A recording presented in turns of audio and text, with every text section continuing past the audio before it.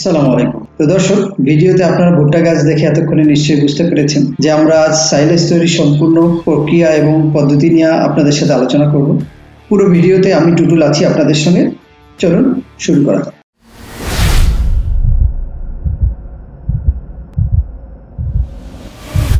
দর্শক, আপনারা দেখতে পাচ্ছেন, ভুট্টা পরিপূর্ণ পক্কতা পাওয়ার আগেই ভুট্টা সহ গাছগুলো কেটে নিয়ে আসা হচ্ছে এবং মেশিনের পাশে এনে জমা করা হচ্ছে।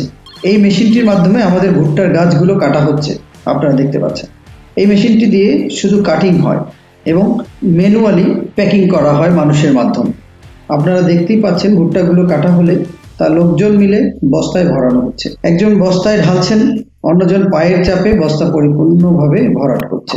এগুলো ভরাট হয়ে গেলে তা ওজন করা হচ্ছে, দেখতে পাচ্ছেন। এখন সাইলেজগুলো প্যাকিং এর পর এগুলো ভালোভাবে মুখ বন্ধ করে সেলাই করা হচ্ছে। তো সাইলেজ কয়েকভাবে হয়ে থাকে। আপনারা দেখেছেন আমাদের বেল সাইলেজ করি পিট সাইলেজ করি এবং বস্তা সাইলেজ করি। আপনারা যে কোনোটাই নিতে পারেন, তিন পদ্ধতিতেই করে থাকি, তবে সব থেকে বেশি বস্তা সাইলেজগুলোই, কারণ হচ্ছে বস্তাগুলো যে কোনো জায়গায় ক্যারিং করা যায়।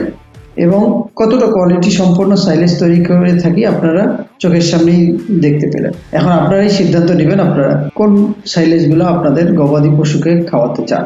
তো আপনারা যদি এই সাইলেজ আমাদের কাছ থেকে নিতে চান, সারা বাংলাদেশে ডেলিভারি নিতে পারবেন, যে কোনো কুরিয়ার কোনো ট্রান্সপোর্ট অথবা পিক আপ ট্রাকের মাধ্যমে নিতে পারবেন। তো আপনারা যদি অর্ডার করতে চান, অবশ্যই আমাদের ভিডিওতে দেওয়া নাম্বারে কল করুন এবং আপনার নাম, ঠিকানা আমাদেরকে দিন, আমরা পৌঁছে দেবো আপনাদের কাছে।